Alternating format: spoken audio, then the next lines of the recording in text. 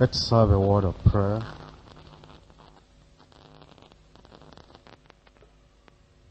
Father, we thank you for what we have learned already. We come before you now believing that you will still speak to our hearts.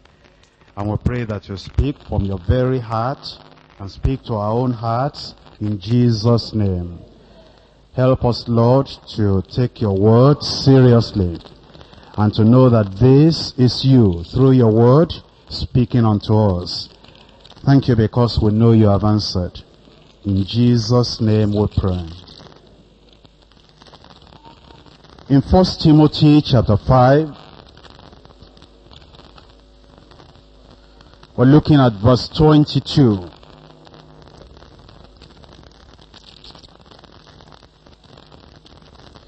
First Timothy chapter 5, verse 22. Lay hands suddenly on no man, neither be partaker of other men's sins.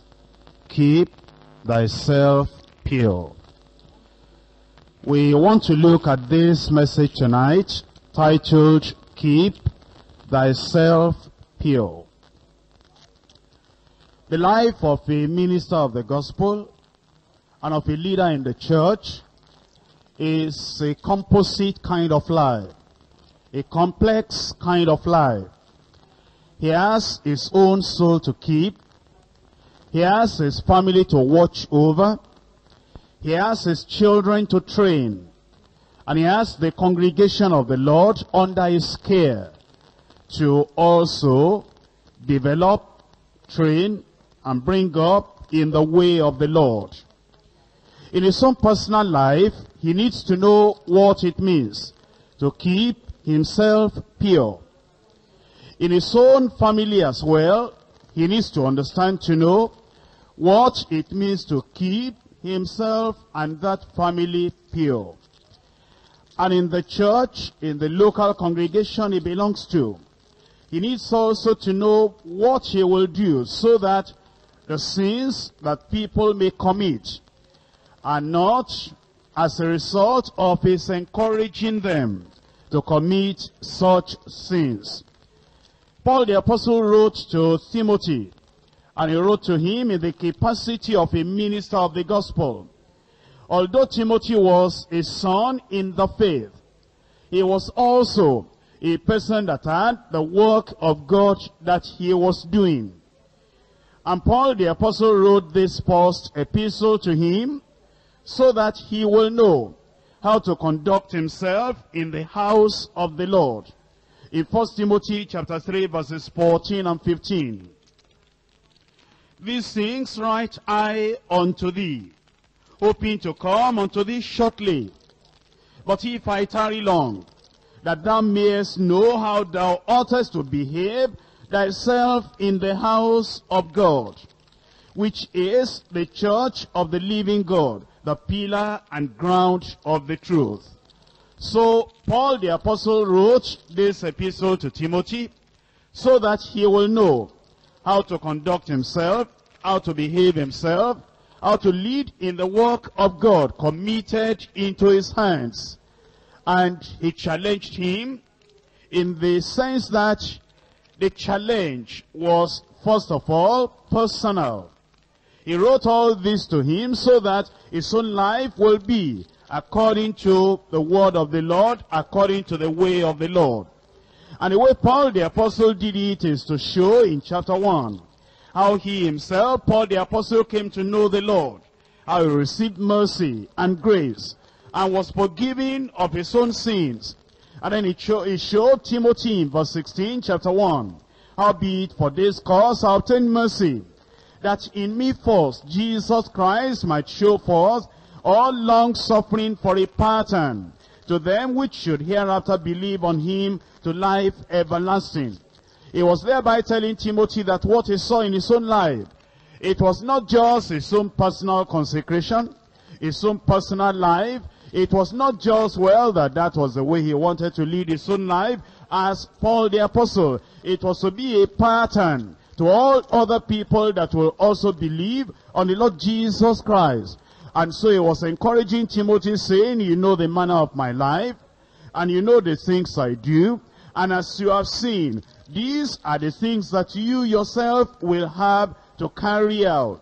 Look at my life, look at my commitment, look at my obedience to the call of the Lord, look at the holiness and the purity of life.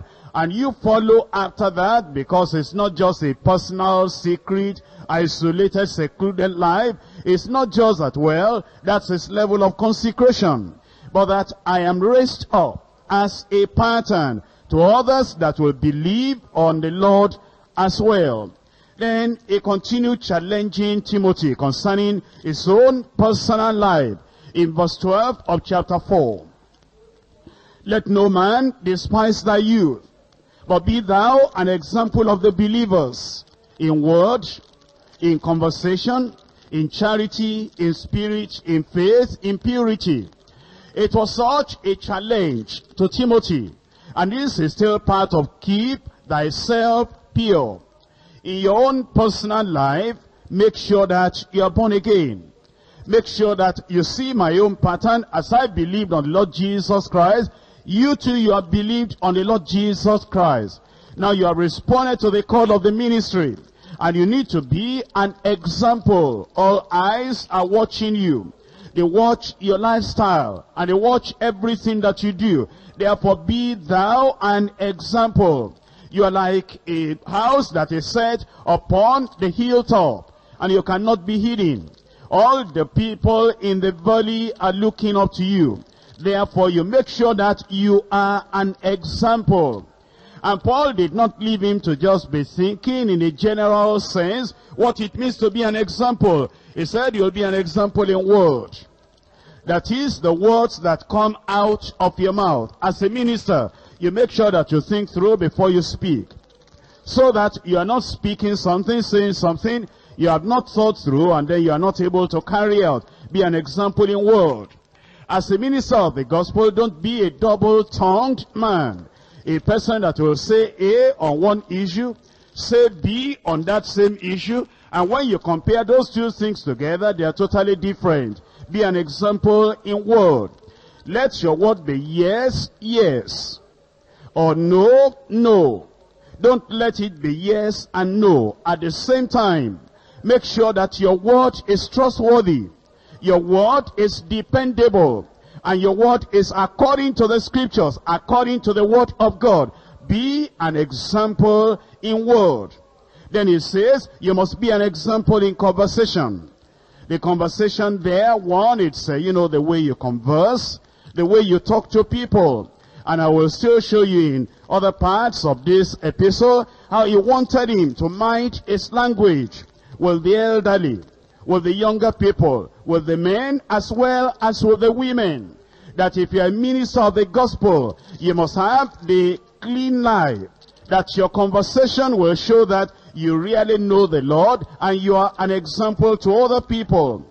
Then the word conversation in the New Testament also goes beyond your talking to another individual. It also means your manner of life. We take sin, everything that you do. Are you moderate or are you extravagant? Are you living as the Lord Jesus Christ lived? Or are you living like perhaps Herod, like Nebuchadnezzar? Is your life, is your comportment such a moderate model to other people that they can follow? Your whole manner of life. And then he says, in charity. That means in love. And if you want to understand the depth of the understanding of the apostle Paul on love and charity, you need to go back to 1 Corinthians chapter 13. And then Paul the apostle said, Timothy, you will not only preach it, your life will say it.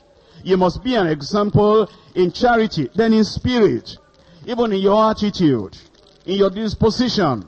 You see, there are people that you may not catch as committing a particular sin.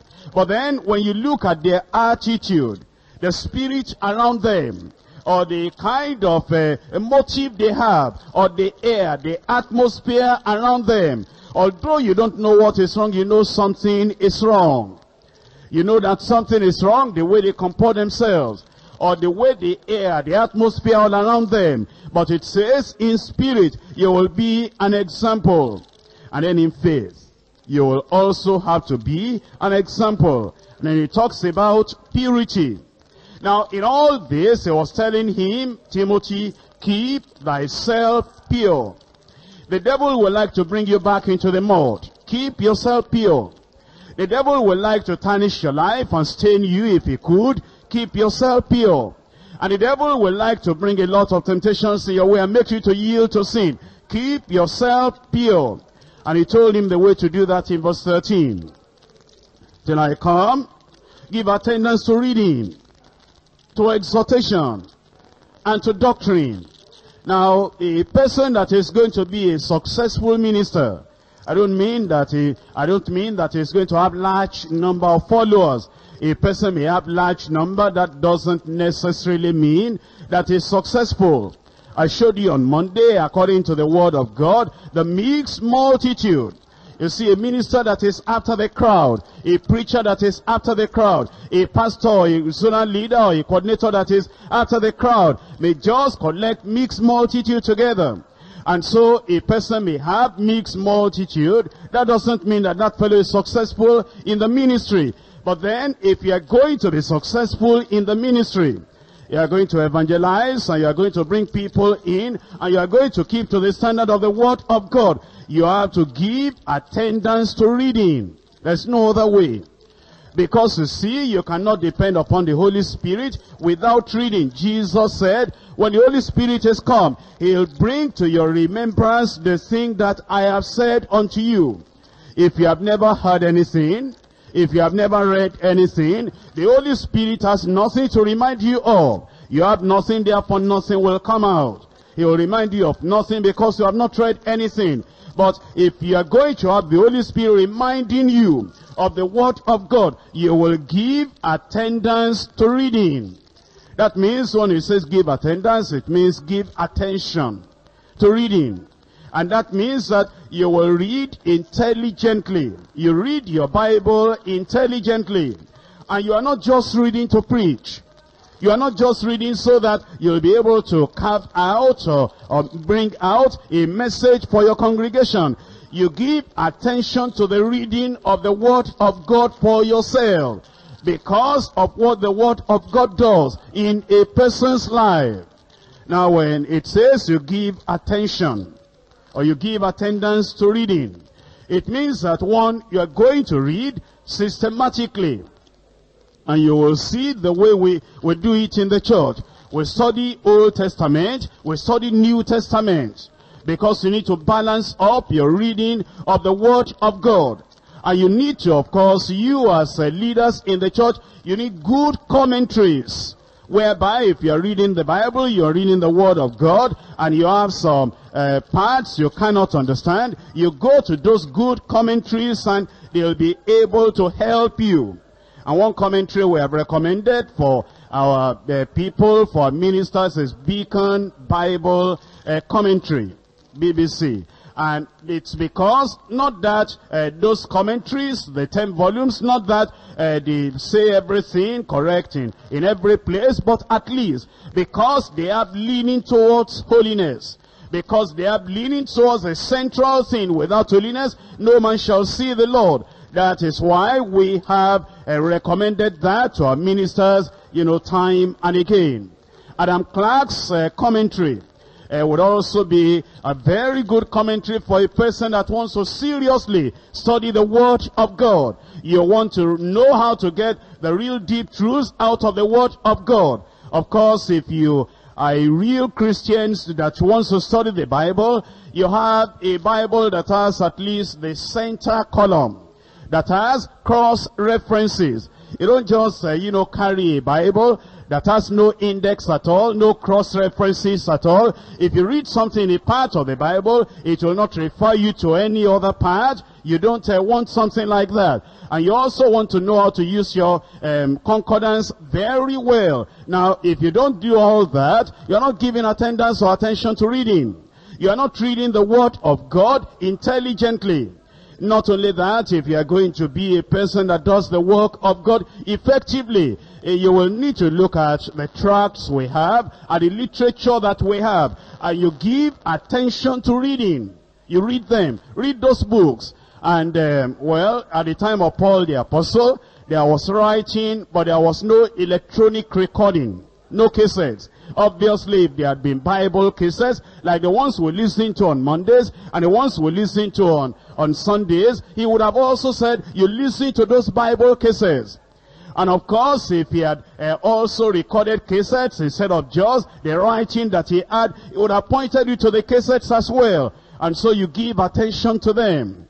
And then it says you give attention to exhortation and to doctrine.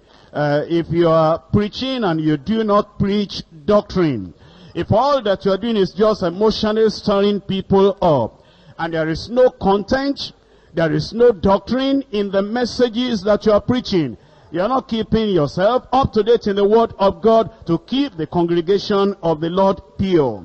And then in verse 15, it says, meditate upon these things, give thyself wholly unto them, that thy profiting may appear to all. Take heed to thyself.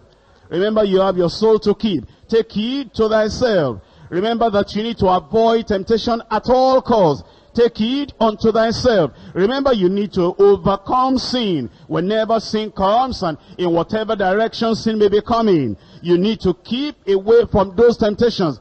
Then you take heed unto thyself and unto the doctrine. Unto the doctrine. Unto the doctrine. You see, as leaders in the church, uh, the people you have in the church, because of their flesh, because of their own temptations, because of their lack of the grace of God, because of their carnality, because of their not willing to nail themselves to the same cross of Jesus Christ to be crucified with him. There are times they'll want you to compromise with them. The young uh, people will want you to compromise with them on marriage. And the women will want you to compromise with them on dressing. And the men will want you to compromise with them also in their business. And the families will want you to compromise with them to patch up and manage their children and give them responsible positions in the church. Never minding the, the life situation of those children. But you see, you need to take it to yourself and take it unto the doctrine. Oh, you'll say, that's not according to the doctrine of the Word of God. That's not according to the teaching we're receiving in the Word of God. I cannot compromise that way. You have to take it unto the doctrine. You continue in them.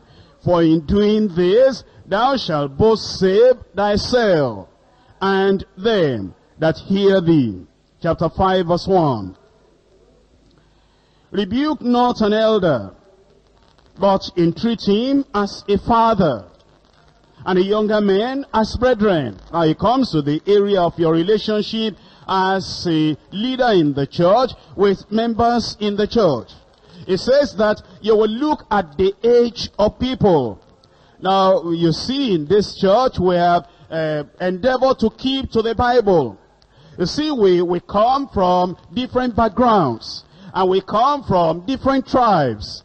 And you see, there are some tribes over here in, uh, you know, in our country that there is respect for the elderly people. But you see, there are some tribes here in our country too that there is not that much respect for elderly people. And there are some people that, although they are born again, although they say they are children of God, they have not read this part of the Bible. And even among us, among those of us who are leaders, there are some of us that behave and act as it is in our tribe. You know, in some tribes, uh, if they want to, you know, refer to a person like me, for example, even though you might be 20 years younger than I am, or you might be 10 years younger than I am, you just say, I want to go and see Kumuyi. Now, in some tribe, that's how they do it. Because to them, that is the way to just relate. And, uh, you know, if you can say that about the pastor, obviously you are going to say that about some of your members who are not even your pastors, they are your own members, and they may be much, much older than you are. If you stay in your own tradition and your tribe, you are just going to say, uh, Michael, and the Michael you are referring to is 20 years older than you are. And Paul said, Timothy, Don't be an Igbo, don't be a Yoruba, don't be an Efik, and don't be uh, a Togolese, and don't be an Ebe, but be a Christian. And how does a Christian do it? The way a Christian does it is rebuke not an elder, but entreat him as a father. Let that respect be there. It is part of your life as a leader, as a Christian. And then he says, the younger as uh, as brethren, which means then, as you look at, there is difference. If you're approaching somebody that is much older than yourself, or you're approaching somebody much younger than yourself, you don't talk to them the same way. Maybe in your tribe, they talk to them the same way. But in the Bible, they do not talk to them the same way. You see in the Bible, that respect and that honor is there. And it is part of the lifestyle of the one that says is a leader. A young, growing, upcoming leader in the church like Timothy. And then in verse 2, it says, the elder women as mothers. That is, you will find the elderly women in the church. And although they are your members, it is not that they are even leading you. It is not that they are even women representatives or women coordinators. That respect will be there. And you will show the respect unto them because of their age.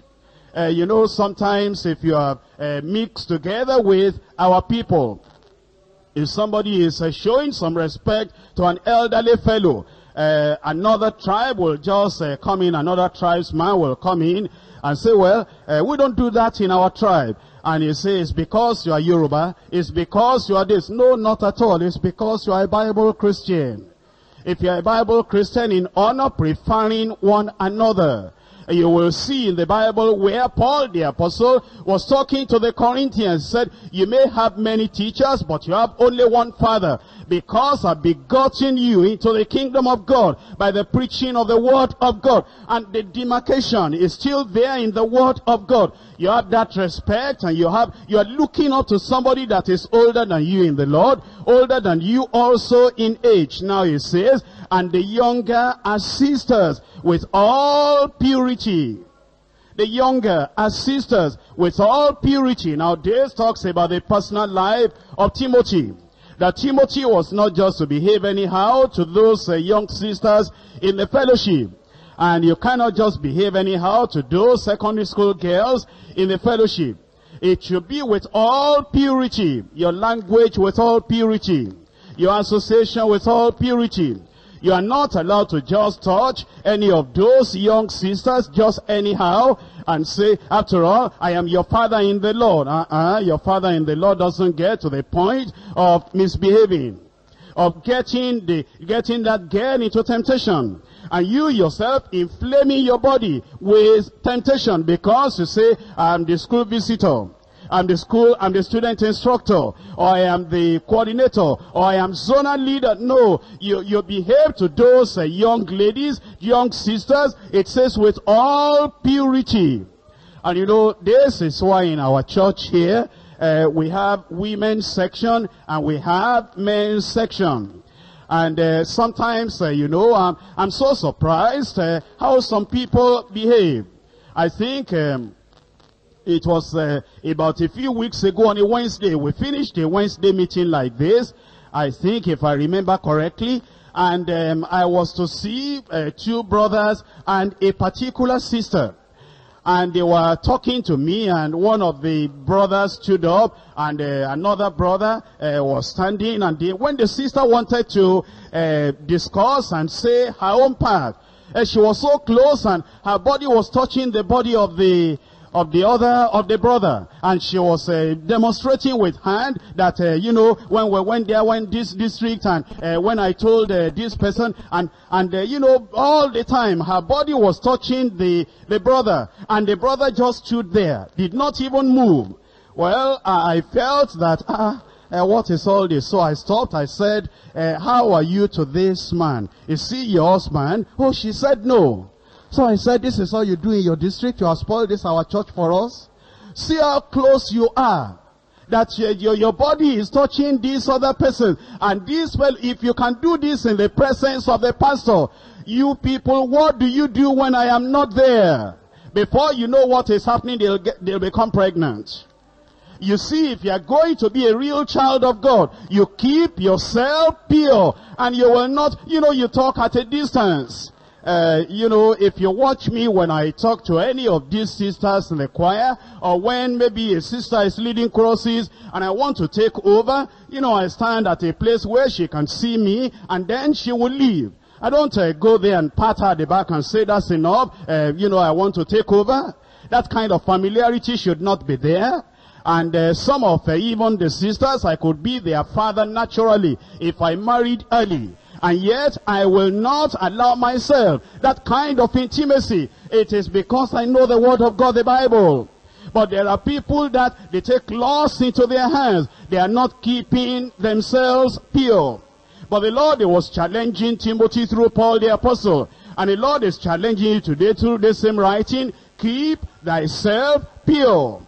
Uh, do you know that even as a child of God and as a person that wants to balance up the word of God, there is a kind of closeness you can have with your wife at home. When you come to the church, you don't maintain that kind of closeness. You know, in some other churches, uh, the husband and wife will sit together in the in the church building, and then they will put their hand their hand uh, behind the woman, and uh, people will say, after all, they're husband and wife. Well, if I'm a, if I'm a visitor to that church, I wouldn't know their husband and wife. And therefore it will be a bad example to other people. We want to be very careful. And sometimes you have just got married. You got married last Saturday. And today, Sunday, you want to be in church. And then you wear the same kind of dress. I don't know where you saw that. And then you, you have the same one Bible. Were you not reading Bible before you were married? And then they sit down together in the same place and they'll be opening the same Bible together and put it on the man's lap and the, and the, the woman will be opening the Bible on the man's lap because they got married last uh, Saturday. What a pity. It means marriage is the all in all in their lives. They don't, they don't have any other vision. They don't understand any other thing. Marriage, marriage, marriage. After three months, we'll see what will happen. And after one year, we'll see what will happen. You see, there are things that are reserved for the chamber, for the inner chamber. There are some things that are reserved for your home. When you're at home, when you come to church, you don't want to make anybody to stumble. You want to keep yourself pure. You want to keep the church of the living God pure. And so, number one, you keep your very self pure. You do not allow sin in your own personal life. But there's a second area where you need to keep yourself pure. Let's go back to that. Um, 1 Timothy chapter 5 verse 22. Lay hands suddenly on no man. Lay hands suddenly on no man. Now, what does this mean? Is this talking about laying hands on people for healing? No, not at all. What kind of laying on of hands is this? Well, to understand that, you go back to 1 Timothy chapter 4 verse 14. Neglect not the gift that is in thee, which was given thee by prophecy with the laying on of the hands of the presbytery. That is Timothy uh, before he got into, into the fullness of the ministry. Paul the apostle with the elders, with the leaders, they laid hands on him. And he's saying, Timothy, don't be in a hurry. It wasn't the first day I knew you that hands were laid on you. I watched your life. You traveled with me. You went places with me. I checked you up in comparison with other people. I saw that the other people were caring for them for themselves, the things pertaining to them. But I saw that you had a single purpose, a single mind. And I looked at you in every way possible. I tested you, I examined you and scrutinized you to find out what was in your heart. And I knew what you will be before hands were laid upon you. Now, don't just suddenly, young man, don't suddenly lay hands on people.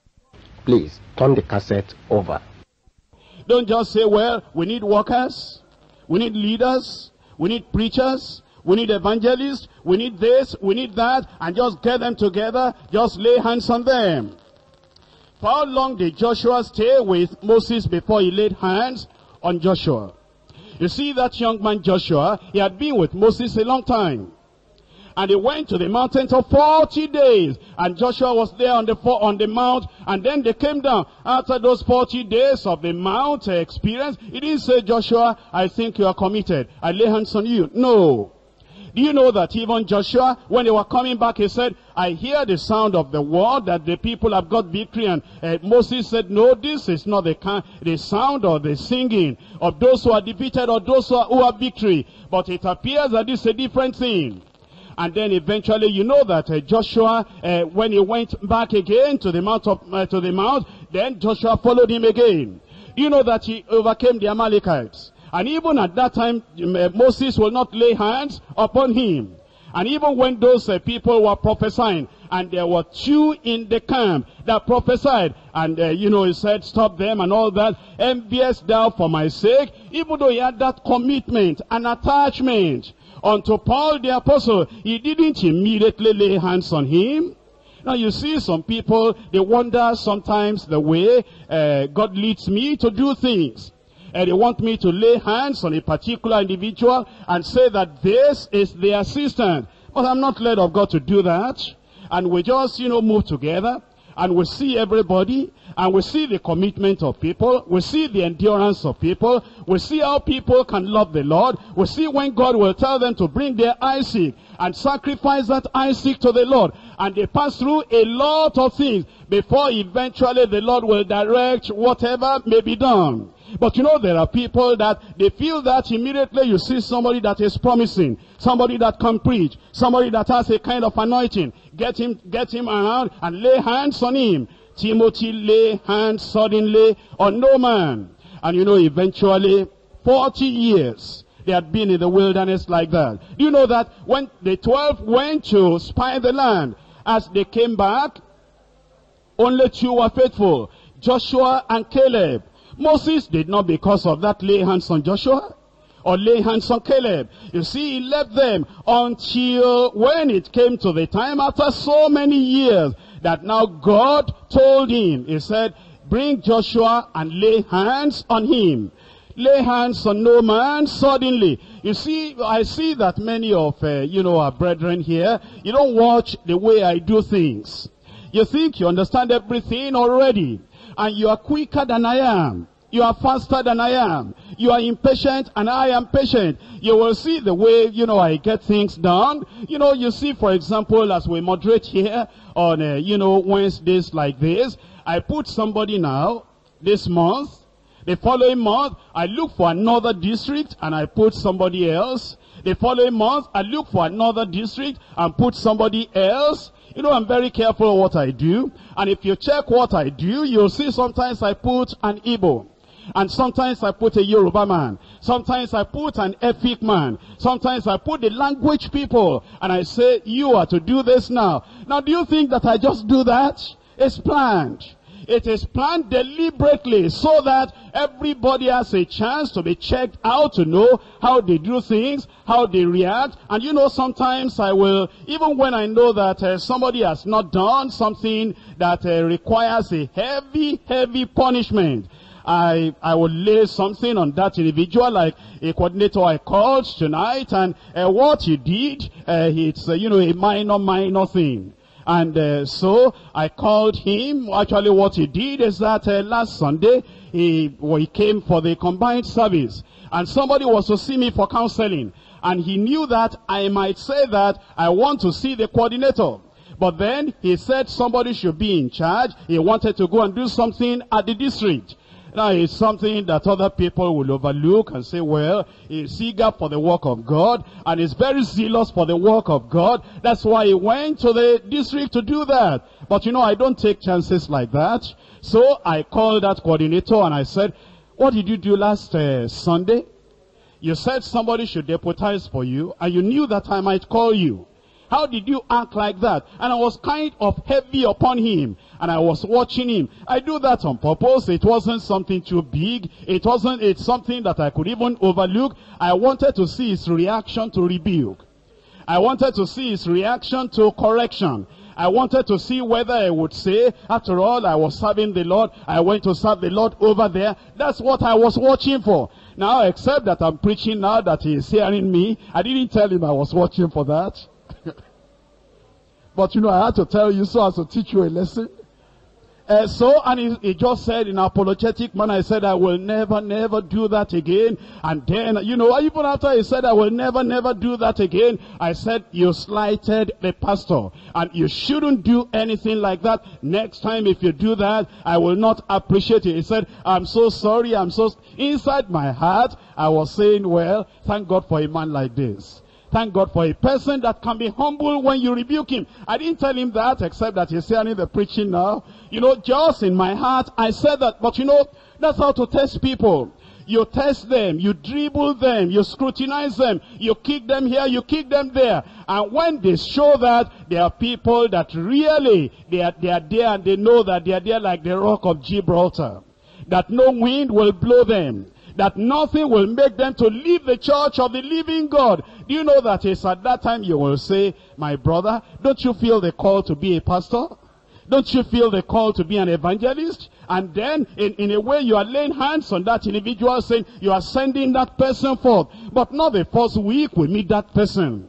Not the first year that we meet that person. Um, one of the coordinators here will bear me out that, uh, you know, I was at the IBTC because we have a program there with the campus brethren. And uh, a particular pastor had uh, said that he will turn over his church uh, to deeper life.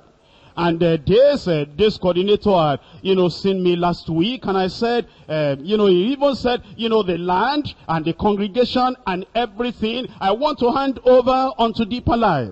And myself as well. And they had already told that coordinator that when I join Deeper Life, I'll be totally under control. Anywhere they want to send me and all that. I didn't just take that and say, let that church come and join Deeper Life. Because of, you might bring in mixed multitude. And so I said, coordinator, be patient. I want to see that pastor. And the pastor came and, you know, introduced himself and said a lot of things, talked about his church and the time he started and a lot of things. What will be my reaction? I said, Pastor, I love all that you have said. Why don't you stay as your church and then we can send literature, we can send cases, we can send people and leave you where you are and help you where you are, but don't uh, try to join deeper life. Now, you see, there are people that will say, oh, thank God they want to join Deeper Life. When I said that, the man said no, that I still want to uh, join Deeper Life. I said it's going to be difficult because, you know, Deeper Life has a standard that we will not change. That here you are, you are a local church, and you are just about 400. And Deeper Life is more than 100,000 if you count our young people in Lagos alone. And you don't expect that 100,000 people, they are going to change because of your congregation. You know, our dressing, restitution, holiness, and everything. It may happen that if you say you are joining us, those people, when they hear the word, they will run away and scatter. Why don't you keep your people and we'll give you cassette and help you? He said no, that he still wanted deeper life. Then I dribbled him and I asked questions from him. I said, now you're on your own. As on your own, you are free to travel. You can travel anywhere you want. If you come to deeper life, all that is going to be curtailed. No liberty again, no freedom again. You can't just do anything you want. He said he knew he would still join. Then I said, you know, uh, you will still need to talk to your wife at home because, you know, when you come, you are coming with your wife. And if you come with your wife, think about it. The dressing and everything. It may break your family. Because your wife might say, this is too much. You don't want to break your family because of deeper life. Stay where you are. Then he said, I've discussed with my wife and she has agreed. Then I brought a lot of other things and, you know, I was just saying this and saying, but you know, some people don't do that. They just say, oh, you want to join? Wonderful. No, it is not wonderful. You don't know those people are. You don't know how many sorcerers are there. You don't know how many witches are there. You don't know how many familiar spirits are there.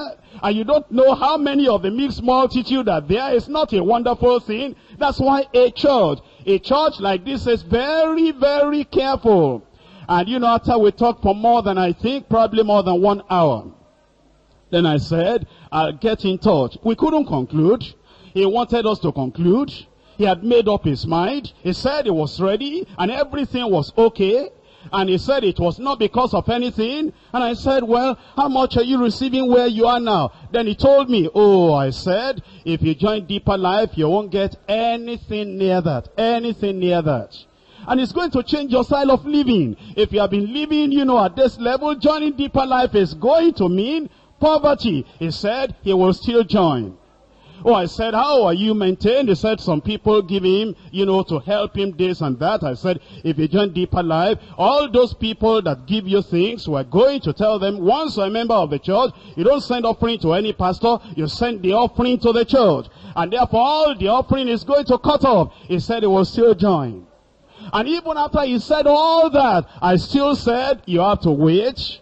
Because you know, that's just discussion. There's no prayer yet. That's just discussion. God has not spoken anything to me. That's just discussion. I didn't get any revelation from God. That is just checking out according to the word of God. You see, this is how serious the word of God is. When it says, lay hands suddenly on no man. Keep yourself pure. And then it says in that uh, First Timothy chapter 5 and looking at it from verse 22. Neither be partaker of other men's sins neither be partaker of other men's sins. Now, you will know some people in the Bible, they were partakers of other men's sins. Here was Aaron, a leader.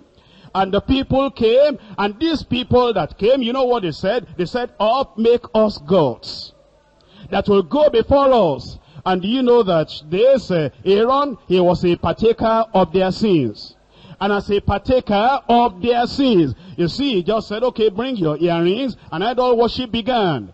Do you know there are some leaders and coordinators like that? The pressure of the congregation, the pressure of the people is uh, once the people say, do this for us, then they want to do it. I remember the uh, the time that we were having uh, the leadership seminar here on Saturday. One of the brothers was answering a question on marriage. And I saw that that uh, answer is, uh, you know, it's giving a lot of liberty to people to bring their gift in an unscriptural manner.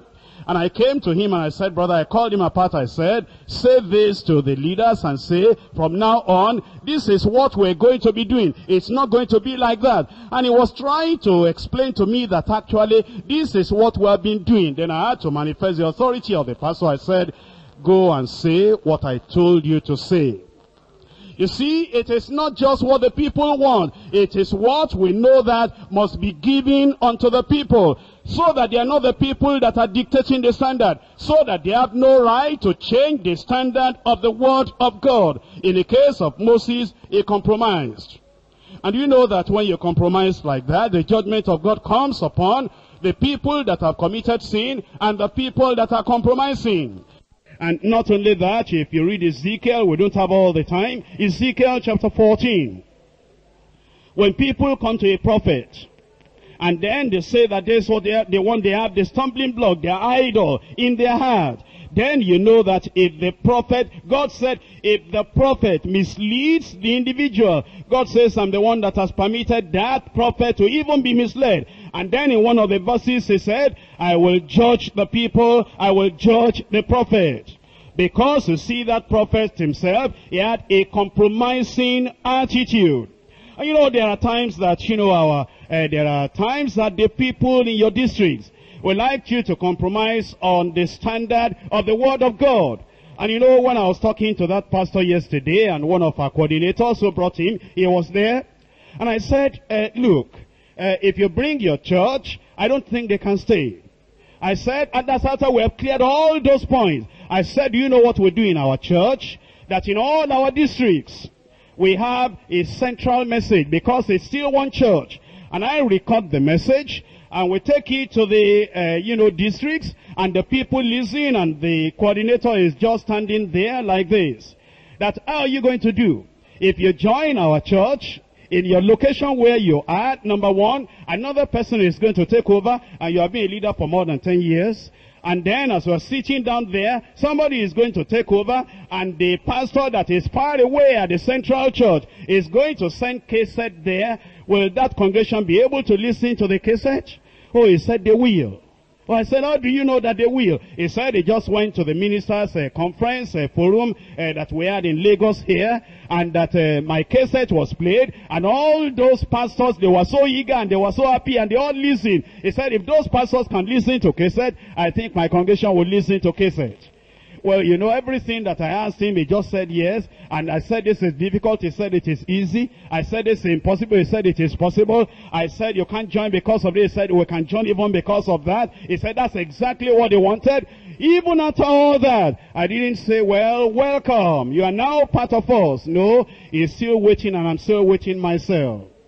And you see, many of us are not like that. You are too much in a hurry. You want to get this, you want to get that, and you want a lot of people to be there. But you know, if you listen to that message on Monday, I'm so much afraid of the mixed multitude. So much afraid of the mixed multitude. And if you look at a lot of the churches now, and uh, you know, sometimes what I see, uh, I cannot talk about it all. You have some of the women, they will cut, uh, you know, the, the address. They, they will sew everything properly, then they will cut it for you to see their underwear. And they come to this same deeper life. And you will see some of them, they will tie that scarf, they will leave the other part open. They come to this church. And they do a lot of things that uh, if it were not another part of scripture that says, and when the disciples said unto Jesus in that parable, do we go and uproot those tares? And Jesus said, leave them alone. Lest while you are uprooting, really you should uproot them, but lest while you are uprooting them, you make a mistake and uproot the wheat. Were it not for that verse, I would have uprooted a lot of tares. And you know them, you know where they are. But at least if we cannot uproot them, don't make them workers.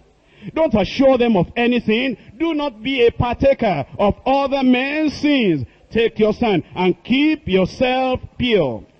Well, I'm sure that you are just like I am. I told you on Monday that as we listen to all this, that the people that have the same mind that I have, we should join together. Here was Jehu. You see, Elisha the prophet has sent one of the sons of the prophet.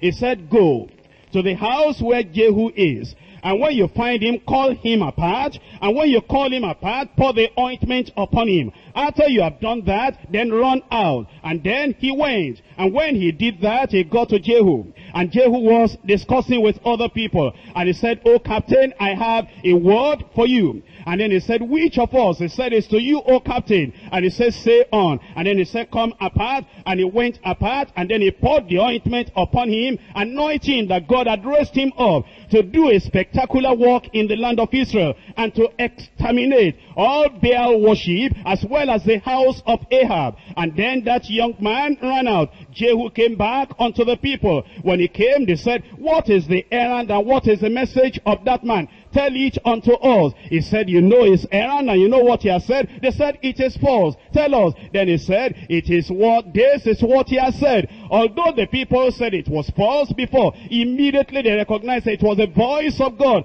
They all bowed the knee. They said, long live the king. And then they, they, went after him. And while Jehu was going, and he was going to the city where Jezebel was and all those people, the worshippers of Baal, then one of those people that he knew that had a right heart met him. He said, is your heart like my heart? And is my heart like your heart? If it is so, join the chariot. And he joined the chariot. And it is what I'm telling you today. I know God has called me like he called Jehu. I know God has anointed me like he anointed him. And here we are driving on in the chariot. And we are preaching the gospel so that all of Nigeria, all of Africa will hear the word of God. And here I come to you tonight and I'm asking you, is your heart like my heart? Is my heart like your heart? Join the chariot and let us move on. The same faith, the same Lord, the same standard, in unity of faith, in unity of doctrine. Why don't you rise up and let's be united together? If our hearts are the same, if our hearts are the same, that will preach the same word and stand on the same truth, and there will be no compromise.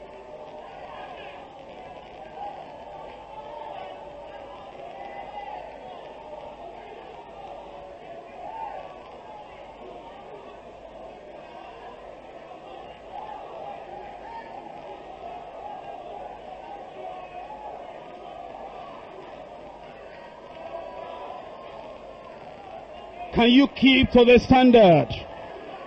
Keep yourself pure.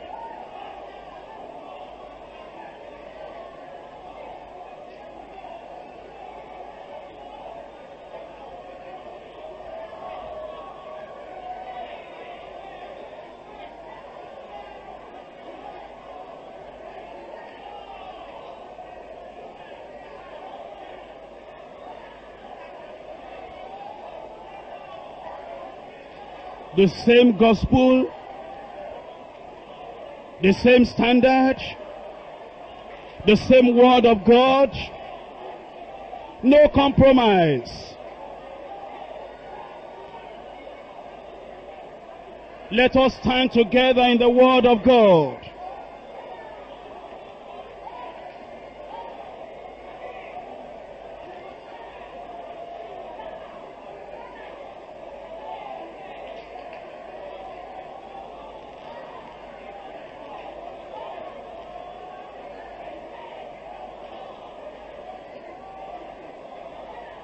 Are you standing on the same truth?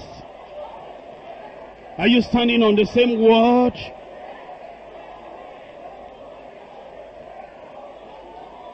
Lay hands suddenly on no man. Lay hands suddenly on no man.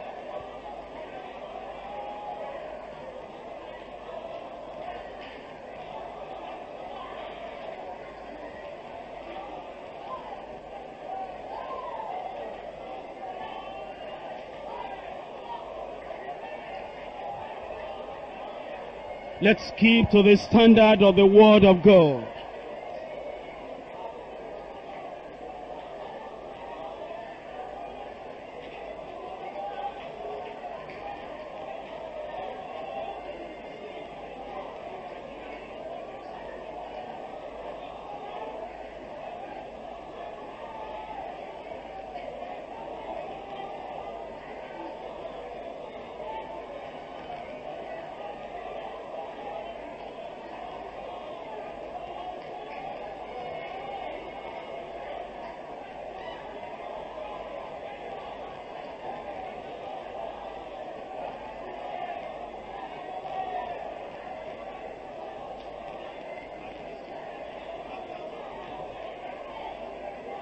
In Jesus' name we pray.